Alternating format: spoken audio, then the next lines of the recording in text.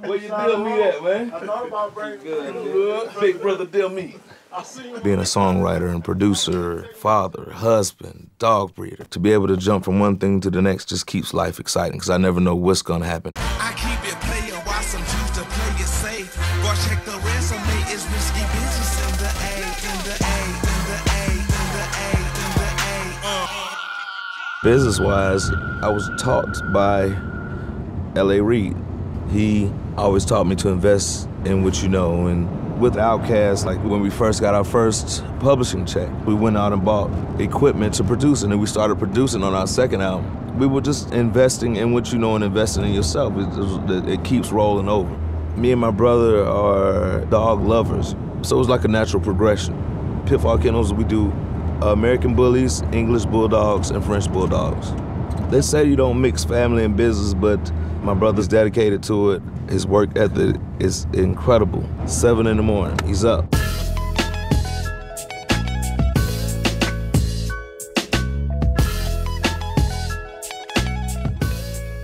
I'm up early in the morning, come out here, let them run around, let them play, exercise a little bit, feed them, clean up, pressure wash the kennels out. It's an all-day operation for me. It never stops. No days off. When I was going to college, I wanted to be a veterinarian, and I always know I wanted to take care of dogs, so it's always been like a love for the animal. Uh, how'd that feel?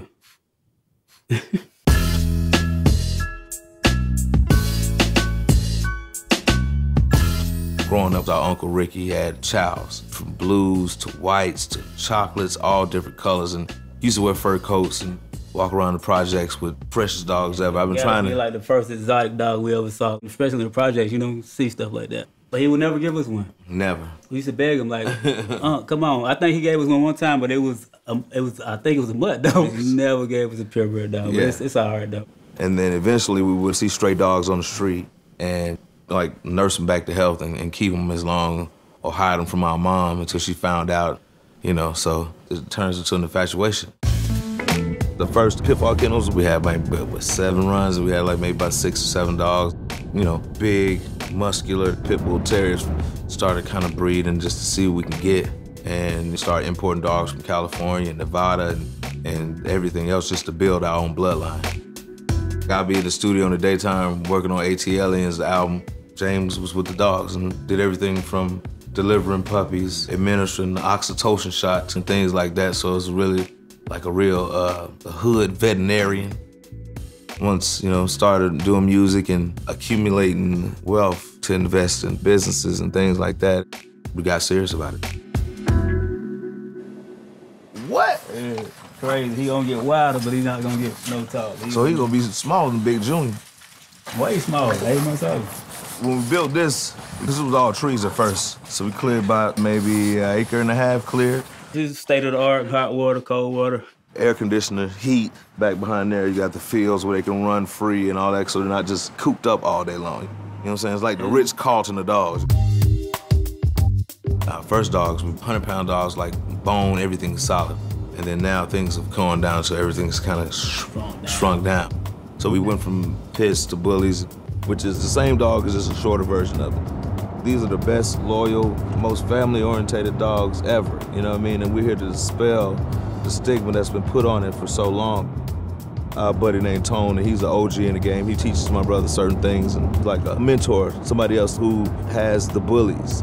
Knowledge is the key of anything. If you take Terrier back to Ireland and England, they were bred for specific reasons. And in America, they just start doing the wrong thing with them. Even with the bullies and everybody like, oh, oh, they're dangerous. Or, no, no, they're not. You treat them like you treat your kids. This kind of dog, if a guy ride around in a Bentley or he ride around in a Mercedes and he want to show off, these are the type of dogs for showing off, show dogs. Um, I also have English Bulldogs and French Bulldogs, which to me have taken the place of the Yorkie as the toy dog, you know what I mean? The personality on these dogs is like no other. I just love to watch them interact with each other, almost like watching kids play. As far as the English Bulldog go, like, this right here is my ultimate look. Short, very short body, compact. He don't like oh, a lot of leg on this dog. No, there you go. I don't, the leg, yeah. we, we, no tell legs. me too much leg. Yeah. We only like legs on strippers.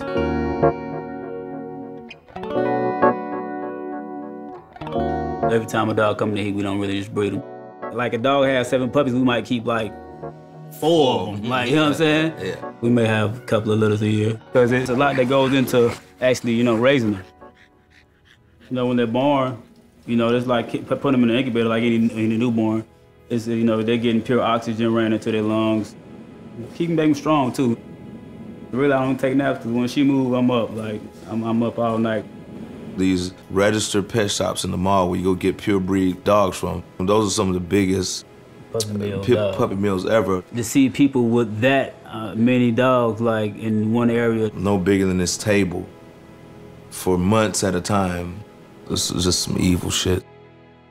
I'm not just gonna put my name on something just to make a buck. These are like family members we got.